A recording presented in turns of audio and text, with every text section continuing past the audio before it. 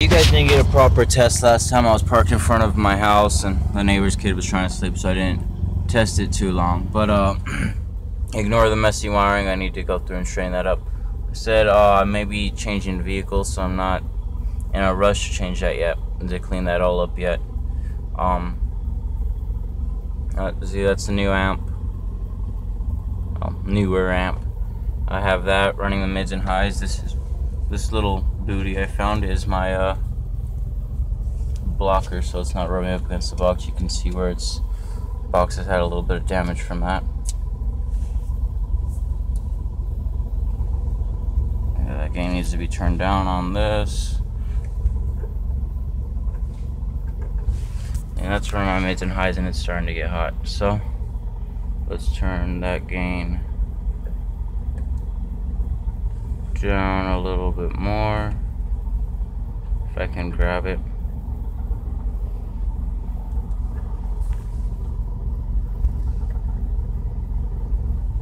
Yeah it's down. Okay. Uh okay. Let's play a song real quick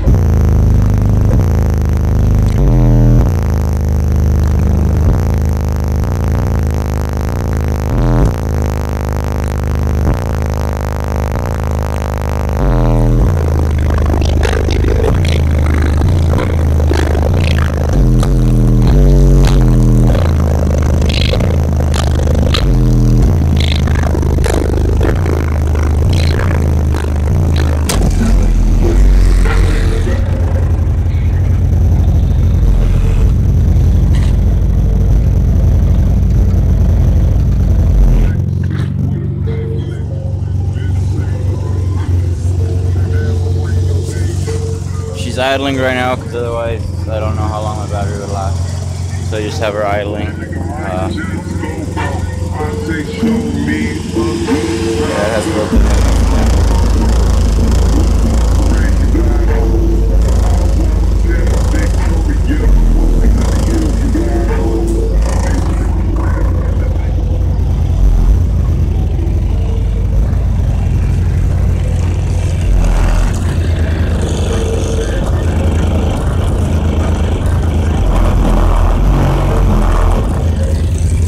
I that's bad for about $260 worth of box and sub. And I spent 50 on the amp, so I'm only 300 into that.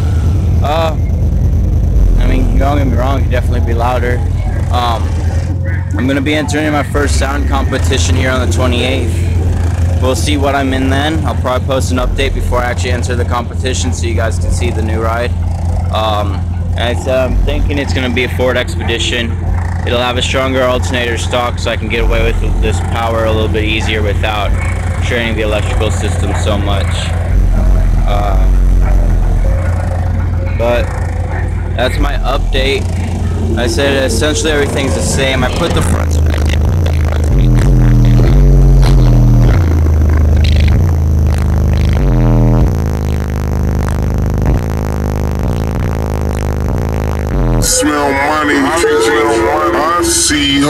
I get fly, 80s by the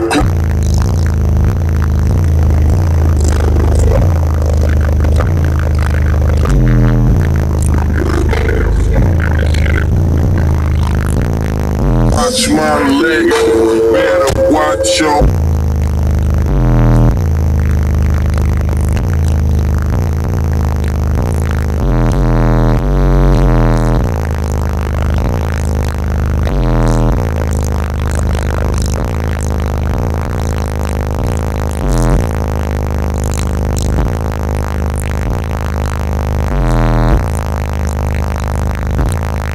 I've been drinking. I think I've been smoking. That, that's the new system. Ignore the mess in my truck. Uh, yeah, it's definitely louder than what it used to be. I'm happy with it. Um, like I said, might be moving into a bigger vehicle with a better electrical system from stock. So, we'll see. Alright, you guys have a good day.